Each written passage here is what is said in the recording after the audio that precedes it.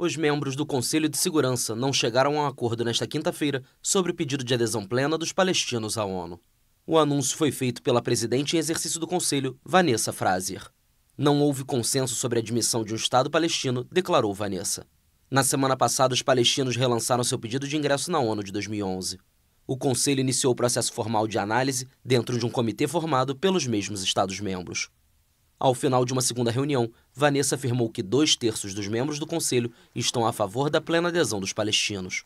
O comitê só pode tomar decisões por consenso, mas isso não encerra a questão. Após o relatório do comitê, qualquer Estado-membro do Conselho pode submeter à votação uma resolução sobre adesão.